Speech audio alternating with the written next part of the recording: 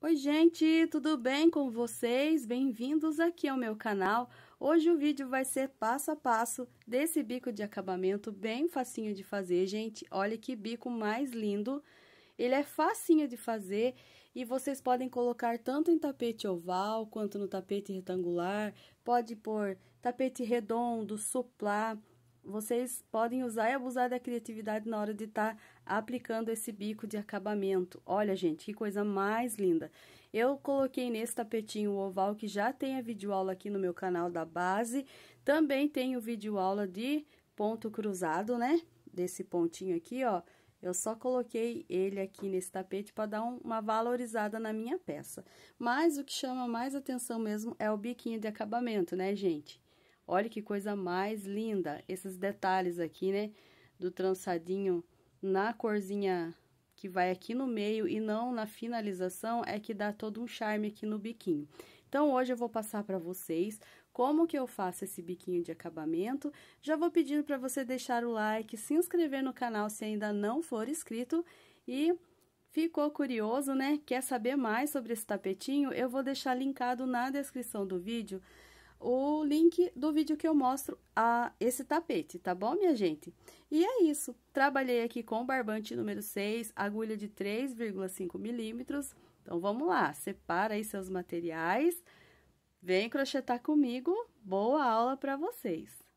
Tô com a base aqui, então, de um tapetinho oval, mas como eu falei para vocês no início do vídeo, esse bico de acabamento vocês podem colocar em qualquer é, trabalhinho de vocês, tá, gente? Tanto em tapete oval, retangular, aí vocês usam e abusam da criatividade, tá bom? Claro que a gente sabe que precisa estar tá fazendo daí as adaptações para poder fechar né, a primeira carreira para finalizar o biquinho de acabamento, tá bom? Mas daí, dependendo da peça que vocês escolherem, né, é só vocês fazerem as adaptações de vocês. Essa base aqui é do tapete Viena, que é aquele que eu já mostrei para vocês aqui no início, porém aqui, gente, eu só subi bloquinho sobre bloquinho, ó. Não fiz igual o tapetinho da videoaula, né, que é uma carreira de bloquinho, uma de somente pontos altos, bloquinho, pontos altos, né? Então, aqui eu já fiz ele direto, ó. E já também estou com a carreira de pontos altos apenas, ó. Então, agora sim, nós vamos iniciar o bico de acabamento. vou pegar aqui o meu barbante goiaba e agora, então, gente, vocês podem estar tá amarrando aí qualquer lugar da pecinha que vocês escolheram para estar tá colocando esse bico, né? Vou vir aqui na primeira hélice do tapete, vou seguir mais ou menos a linha imaginária aqui, ó, vou prender o meu barbante aqui nesse ponto alto. Então, vamos lá, vou trazer aqui meu fio pra cá, faço três correntinhas, uma, duas, três. Vou laçar, vou para o próximo ponto alto, próximo ponto, um ponto alto. Aqui nós temos que ficar com um grupo de sete pontos altos seguidos. Então, eu já tenho três pontos, porque as três correntinhas faz a vez do meu primeiro ponto alto. Então, vamos lá. Quatro, cinco, seis, sete pontos altos, ficando assim desta forma. Finalizei, então, meu grupo de sete pontos altos, agora eu vou fazer aqui, gente, três correntinhas. Uma, duas, três. Vou laçar, vou vir na minha base, vou pular dois pontinhos da base e aqui no próximo eu já inicio o grupinho de sete pontos altos. Um,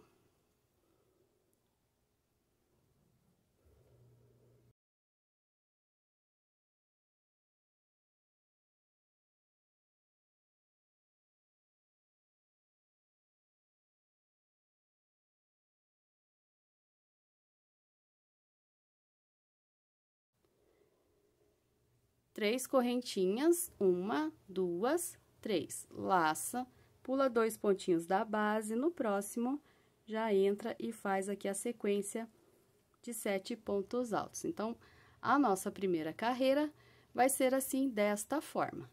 Eu vou finalizar aqui essa primeira carreira e já retorno com vocês. Completando aqui a minha parte, né, a minha primeira parte do bico de acabamento, e aqui para essa minha peça deu bem certinho não precisei estar tá fazendo nenhuma adaptação, tá, gente? Continuei pulando dois pontos altos por toda a minha base. Aqui me sobrou apenas dois pontinhos, então eu vou fazer aqui uma, duas, três correntinhas. Venho aqui na minha terceira correntinha do início da carreira, fecho com um ponto baixíssimo. Quando eu falo adaptação, pessoal, é que às vezes a gente vem fazendo, né, dependendo da peça que você escolher, pode ser que não dê para completar o bloquinho de sete pontos altos, ou então sobre muitos pontos aqui na hora de estar tá fechando.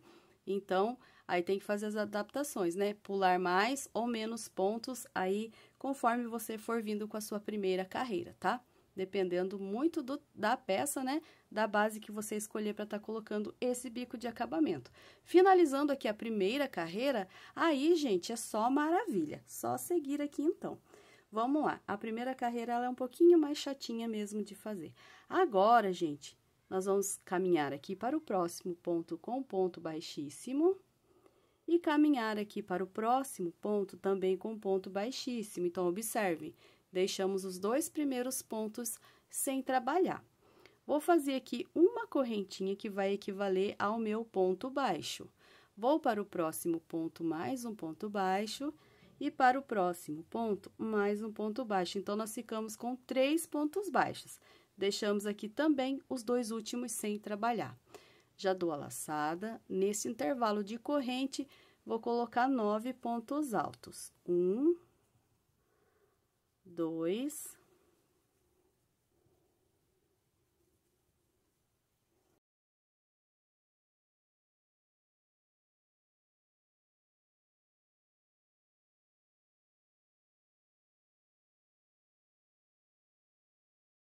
nove pontos altos.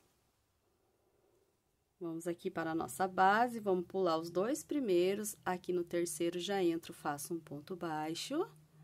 Vou para o próximo segundo ponto baixo, para o próximo ponto, o terceiro ponto baixo.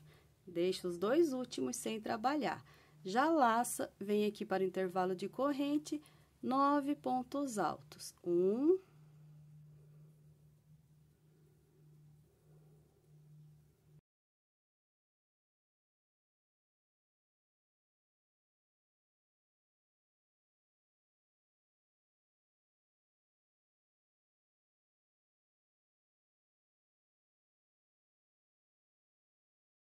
Ó, gente, vai ficando assim desta forma, tá? Então, agora é só seguir. Pula os dois primeiros pontos, vem para o próximo um ponto baixo, no próximo segundo ponto baixo, no próximo terceiro ponto baixo e fica os dois últimos também sem trabalhar. Já laça Vem aqui no intervalo de correntes e coloca os nove pontos altos. E aí, para quem tem o ponto muito largo, né, aquele ponto grandão, se achar que nove pontos altos vai embabadar, pode estar tá colocando sete pontos altos, tá bom, minha gente? Aí depende muito, né, da tensão do ponto de vocês, tá bom? Então, vou completar aqui a minha carreira e já retorno com vocês. Completei, então, toda a minha volta e agora, para fechar, gente vai ser bem aqui, ó, em cima daquela primeira correntinha que eu fiz para ser o ponto alto. É só contar aqui, ó, um, dois, três. Então, é aqui, ó. Entra aqui nessa correntinha, busca o barbante, fecha com ponto baixíssimo, finalizamos a nossa terceira, a nossa segunda carreira, perdão. Vou trocar de fio, tá bom, minha gente? Eu vou voltar com o salmão. Então, eu vou fazer mais uma corrente e vou cortar aqui meu barbante. E agora, eu vou buscar o fio salmão. Tô aqui com o meu barbante salmão, eu vou dar a laçadinha inicial aqui na minha agulha. Vou ficar com ela aqui na agulha, ó. Se vocês quiserem, vocês podem amarrar também o fiozinho de vocês, tá, gente? Assim eu acho mais fácil. Então, eu arrematei aqui meu fiozinho, já até passei ele pra trás. Vou trabalhar sobre esse próximo motivinho, tá? Vocês podem pegar qual vocês quiserem. Vou trabalhar aqui nesse próximo motivo. Então, agora, nós vamos fazer ponto alto, só que pegando aqui por trás do ponto, ó. Assim. Nós não vamos fazer aqui em cima do ponto, nós vamos trabalhar pegando por trás. Então, nós vamos fazer assim, vou aproximar bem para vocês verem. Vou passar aqui minha agulha por trás do meu ponto, ó. Passo a agulha na frente do ponto alto, vou lá atrás, busco aqui meu barbante e aqui eu vou fechar, fechar fazendo um ponto baixo. Faço mais duas correntes e fico na altura do meu ponto alto. Uma correntinha para ser o espaço. Laço, vou trabalhar por trás, ó. Passa a agulha aqui por trás, passa ela na frente do ponto, saio com ela lá atrás novamente e agora é só fazer um ponto alto. Assim, uma correntinha de espaço e vamos repetir aqui em todos os pontos altos, tá? Pegando sempre por trás agora para ele ficar em relevo, né? Uma corrente, ó. Vem aqui por trás do meu ponto alto, passo a agulha na frente dele, vou lá atrás, busco o meu barbante e faço um ponto alto. Uma correntinha, vamos lá. Mais um ponto alto. Uma corrente. Um ponto alto. Uma correntinha. Um ponto alto. Uma corrente. um ponto alto. Uma correntinha, passa aqui por trás, ó. Um ponto alto. Uma corrente, eu acho que tem mais um, né? Deixa eu ver. Não, gente, acabou. Então, já fiz aqui os meus nove pontos altos. Não precisa mais fazer correntinha. Vamos confirmar? Um, dois, três, quatro, cinco, seis, sete, oito nove pontos altos separados por uma corrente, pegando aqui por trás, ó, para ficar esse relevinho, né? Agora, nós vamos fazer aquele ponto que cruza. Então, nós vamos dar duas laçadinhas na agulha. Vamos vir aqui nesse primeiro ponto aqui do meu grupinho de sete. Vou passar minha agulha por trás do primeiro ponto. Busco o barbante, faz bem frouxinho, tá, gente? Não aperta, ó. Tira duas cordinhas tira mais duas cordinhas e tira tudo. Duas laçadinhas novamente, vou no meu último pontinho aqui do grupo de sete pontos, passo a agulha por trás, busco o meu barbante. Tiro duas cordinhas, tiro mais duas cordinhas e tiro tudo. Então, já, já unimos aqui os dois, os, as duas pontinhas, né? Já laço o fio e agora, nós vamos fazer aqui os nove pontos altos separados por uma correntinha, porém, pegando por trás do ponto alto. Então, tem que observar bem onde que é o primeiro, ó. Meu primeiro ponto é esse aqui. Então, vou passar minha agulha aqui por trás, ó. Passa a agulha por trás. Sai lá atrás novamente. Busca o barbante. Vamos lá, um ponto alto uma corrente e agora nós vamos seguir.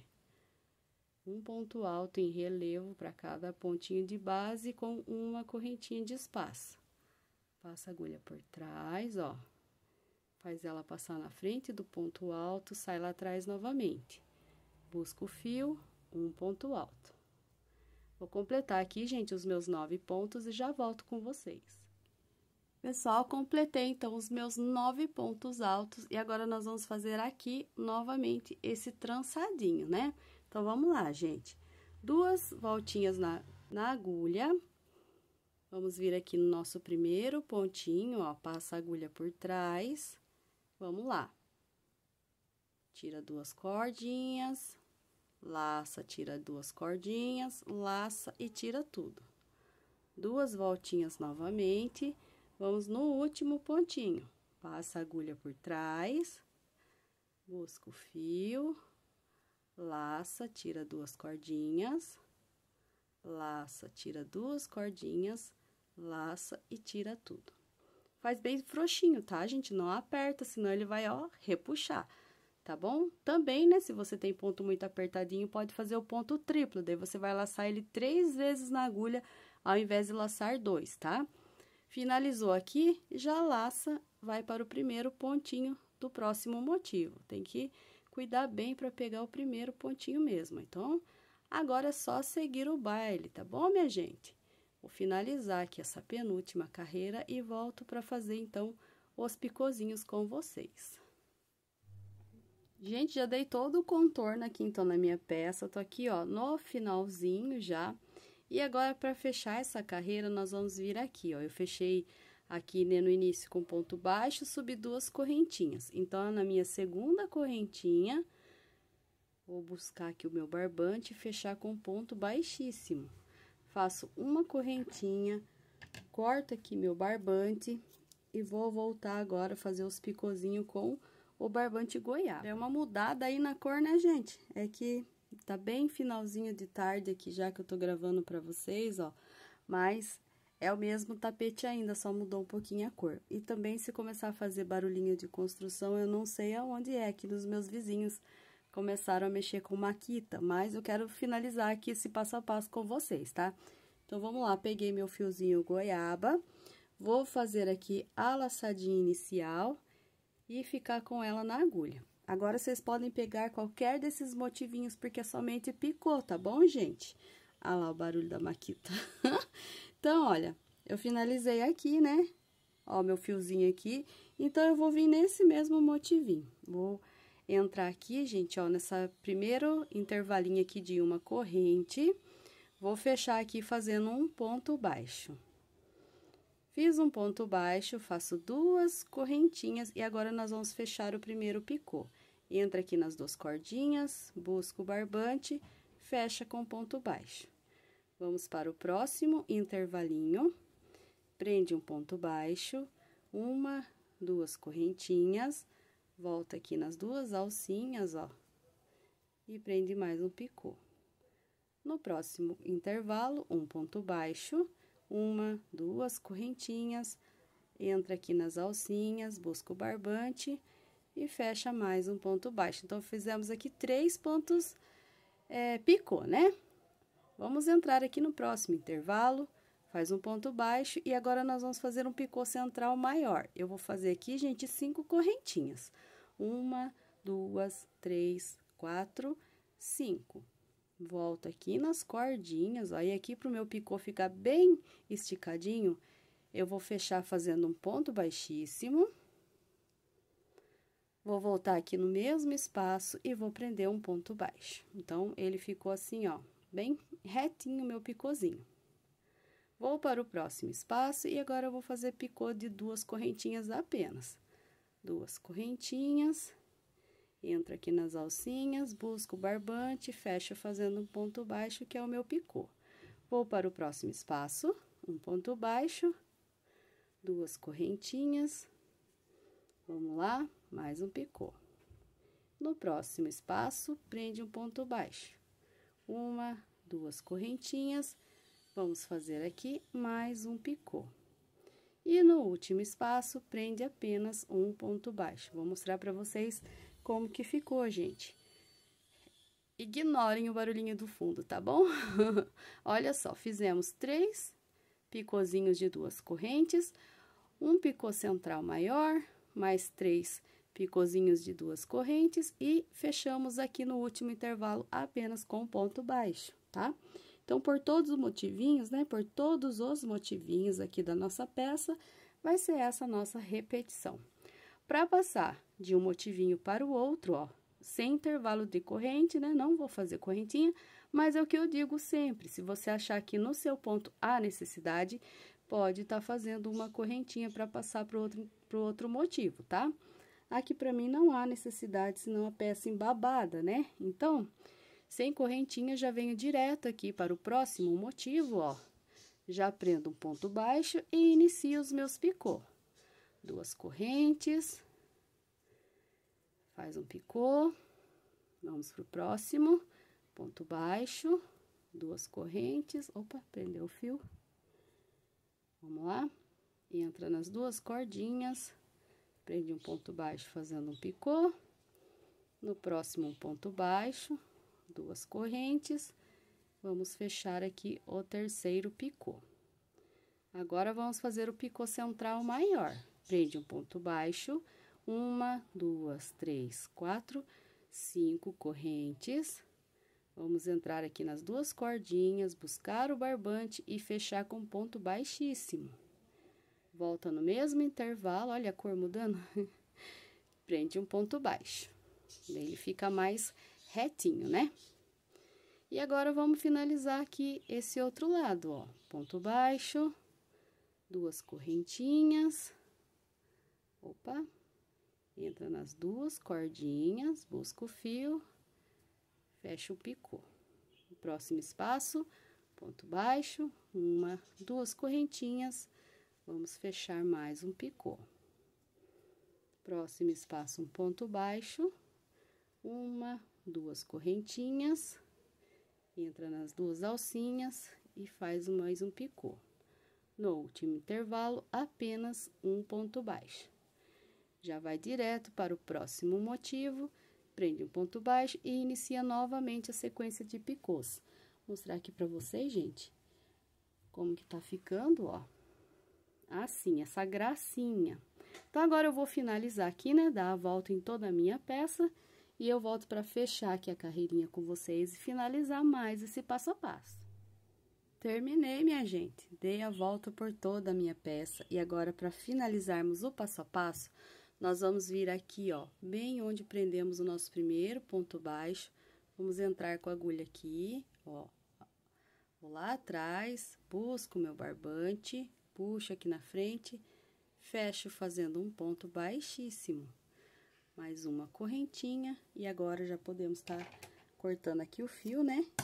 Depois vai ficar só os arremates mesmo para fazer e tá prontinho aqui, então, o nosso bico de acabamento. Mostrar aqui para vocês bem certinho como que ficou, gente. Olha que coisa mais linda. Eu vou arrumar aqui melhor a câmera para vocês poderem ver a lindeza desse bico. Chegamos ao final, então, do passo a passo desse nosso bico chique, né? Ai, gente, ficou muito chique, olha, deixa a peça muito sofisticada, muito linda, né? E aí, pessoal, cada vez que finalizarmos um passo a passo, ó, coloca o tapete, numa, né, a sua peça aí numa parte reta, na superfície reta, dá uma esticadinha nele assim e não esquece de puxar os picozinhos, tá, gente? Porque a tendência, né, é fazermos no colo e eles vão ficando tudo embodocado. Mas então é isso, pessoal. O vídeo foi esse. Eu espero muito que vocês tenham gostado, que tenha te ajudado aí de alguma forma, né? Você que está procurando um bico diferente. Então, ó, te apresento aqui esse bico chique. E eu vou finalizando por aqui. Se você achar que esse vídeo merece, né, deixa um joinha e também compartilha aí nas suas redes sociais, com seus amigos, com suas amigas, nos seus grupos de crochê, né, minha gente? Dessa forma vocês me ajudam e muito a divulgar aqui o meu trabalho e eu sou só gratidão. Então eu vou finalizando meu vídeo por aqui. Um beijo, até o próximo vídeo!